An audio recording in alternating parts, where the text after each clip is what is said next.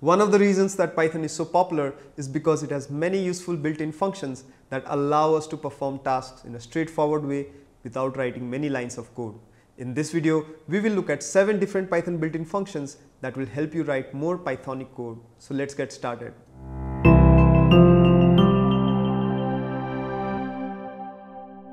Number 1. All and any. The all function takes in an iterable like a list or a tuple and returns true if all the elements of the iterable are true, else it returns false. Let me show you what I mean. So let me create a list of booleans by saying boolean underscore list equals true and true. Now I'll say print all boolean underscore list. Let me run this code and we can see that we get true as all the elements are true. If I change the second element to false and run the code again, this time we get false. Similarly, the any function takes in an iterable and returns true if any element of that iterable is true. Let me change this all to any and see what we get. So, here I will say print any boolean underscore list and this time when I press run I get true because the first element is true and that is enough for any to be true. These functions come in handy very often. Suppose we want to check if a list has all odd numbers. We can do this task in just a single line using list comprehension and all. Let me show you what I mean. Let me first define a list. So, I will remove this old code and I will say numbers equals 1 comma 3 comma 5 comma 7 comma 9 then let me say all underscore odd equals all. Now, obviously, I will have to fill in the expression inside. Inside this all, I will say list comprehension n modulus 2 or the remainder when n is divided by 2 for n in numbers. And then let me print out all underscore odd. When I run this code, I get true. Now let me replace one of the odd numbers by an even number and this time when I press run, I get false as expected. We can also use the any function in the similar way. Number 2 enumerate. Before learning about enumerate, let's first understand where it is used. Suppose we have two lists called name underscore list and marks underscore list. So let me remove this old code and here I will say name underscore list equals Mary, Anna and Alexandra. Similarly, their marks are stored in a list as marks underscore list equals 70, 45 and 96. Here students in name underscore list have marks from the marks underscore list of the corresponding index. So, Mary's marks is 70 Anna's marks is 45 and Alexandra's marks is 96. Suppose we are writing a program that searches for a name and displays the corresponding marks obtained by the student. For this, I can write a for loop. So, I will say for student in name underscore list and then because I am searching for say for example Anna, I can say if student equals equals Anna and then I can write something here. Now, let us print the marks for Anna, but notice that we can't do it directly as we have looped over the iterable and not a range. So, first I will have to create a counter variable and increment it in each iteration. So, I will start with counter equals 0 and inside this if statement I will say print marks underscore list and then I want the counter and if I get the marks then I want to break out of this loop and outside I need to increase the counter to counter plus equals 1. Now, when I run this code, I get 45 which is the marks for Anna as expected. Now, we could have done this same task more easily using enumerate. The enumerate function adds counter to an iterable and returns it. Due to this, we do not have to implement and keep track of a counter variable ourselves. First, let me remove the counter variable. So, here I will remove this and obviously I can remove this as well.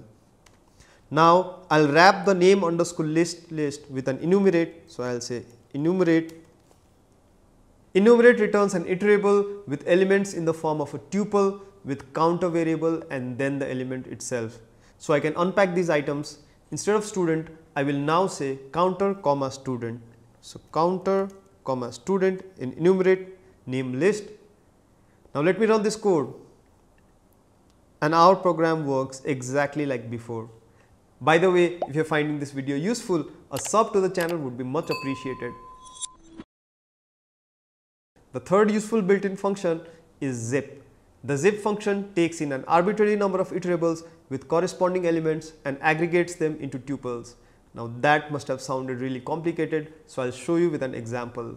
Suppose we have two lists, so I can say number underscore list equals 1 comma 2 comma 3 and then the equivalent strings. So, I will say str underscore list equals 1, 2 and 3.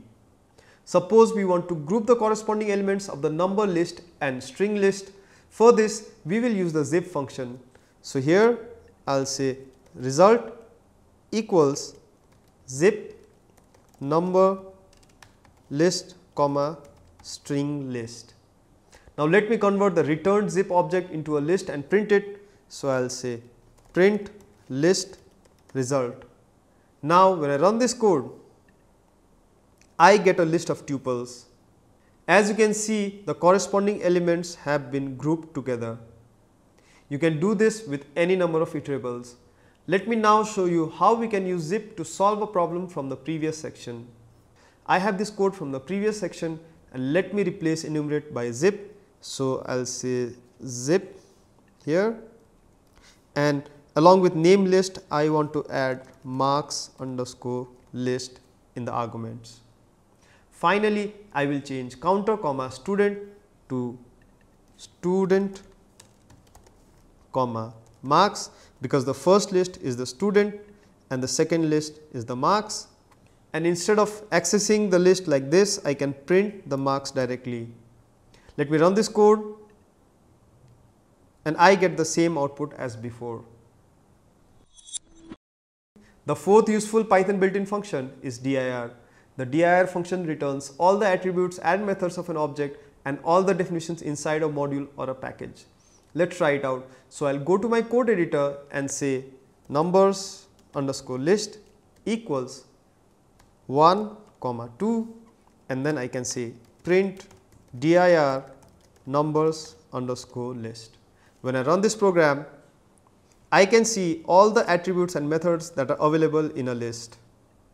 Let's now list out all the definitions of the math module. So, I will remove this old code and I will say import math and then I can say print dir math. Now, when I run I can see all the attributes and methods that the math module makes available to me. Another useful built-in method is the eval method. The eval method returns the string passed to it as a Python expression within the program. Let me show you what I mean. So, on my code editor, I will say x equals 1 and then I can say print eval and then instead of saying x plus 1, I will pass x plus 1 as a string. Let me run this code and you can see that 2 which is the expression x plus 1 evaluated is printed. Since this function allows us to execute any Python expression as a string, we can make very interesting programs by taking input from the user and parsing them using eval. Let me demonstrate this to you. I will create a command line calculator in just two lines of Python. First, I will create an infinite while loop. So, let me remove this old code. I will say while true and inside this while loop let me take input from the user. So, I will say input enter expression. Now, let me pass this value to eval. So, I will say eval input expression. Finally, let me just print the value returned by eval. So, I will say print eval input enter expression. And now, let me run this code now, let us try a few expressions. I will say 4 plus 5 and you can see that 9 has been printed. Let me try something more complex. So, I will say 6 to the power of 3 and voila you get 216. This calculator will work as long as our input is a valid Python expression. Before moving to the next section of the video, the Programiz team has created an app that allows you to learn Python from your phone. The app contains bit-sized lessons that are easier to understand, a built-in interpreter so that you can run Python on your phone, quizzes and many more. The app is available on both iOS and Android. The links are in the video description. Another useful built-in function is the map function. Before we learn about the map function, let me first show you why it might be useful. Suppose we have a list like this. So, I will say numbers equals 1, 2, 3, 4 and 5 and we have to create a new list with all the squares of the numbers from this list. For this we would normally do it this way. So, I will say squared underscore nums equals an empty list. Similarly, I can say square equals let me define the lambda function I will say lambda n colon n raised to the power of 2. Now, in a for loop I will append all the values to the squared nums list. So, I will say for num in numbers squared underscore nums dot append square of num. Let me go through this code once again. First we started out with the list of numbers for which we wanted the squares. Then we defined an empty list that will contain the squared numbers. Next we defined a lambda function that would convert any number to its square. Finally, we loop through the list and append all the square numbers to the list called square underscore nums. Let me show you how we can achieve this same task in a more elegant way using map. The map function applies a given function to each item of an iterable. Let me show you how it works. So, I can remove all of this and I will just write squared underscore nums equals map. Now, map takes two arguments. The first argument is the function that will convert each element of the list. So, here it will be obviously the lambda function we wrote before. So, lambda n that returns the square and the second argument will be the iterable itself in this case it is numbers. Here the lambda function takes an argument and returns its square and the map function applies this lambda function on each element of the numbers list. Let me first convert this map object to a list and print it. So, here I will say print list squared underscore nums and when I press run I get the list of squared numbers. The last useful built-in function that I want to talk about today is the filter function. The syntax of the filter function is similar to that of the map function. However, instead of creating a new iterator by applying the given function, the filter function filters out only the elements for which the function returns true. I am sure that sounded like a lot of mumbo jumbo to you, so let me show you what I mean. Suppose we have a list of numbers like this. I'll remove this old code and I'll say numbers equals 234, 3245. I'm just typing out a list of random numbers here 690, 550 and say 654. And I want to filter out only the even numbers. For this, I would normally use the for loop and check if every item is even or not. Using the filter function, however, I can perform this task in a single expression. I'll define even numbers as a filter and I'll use a lambda function to check if it is even. So, here I can say even underscore numbers equals filter lambda n n modulus 2 is 0 and then the second parameter just like with map is the list. This lambda function takes an argument n and returns true if that number is even and false if that number is odd. Now, this filter function runs this lambda function on all the numbers one by one and filters out only those values for which this lambda function returns true. Since filter also returns an iterator, I will first convert it to a list. So, let me say print list even underscore numbers and when I press run I made a mistake where did I oh there is an extra colon when I press run you can see that I get the list of only the even numbers in this list. That's it for this video. If you want to revise these concepts, you can find all these programs in our GitHub repository. I'll also put this link in the video description below and if you like this video, hit that like button and subscribe to the channel and I'll see you in the next one. Happy programming!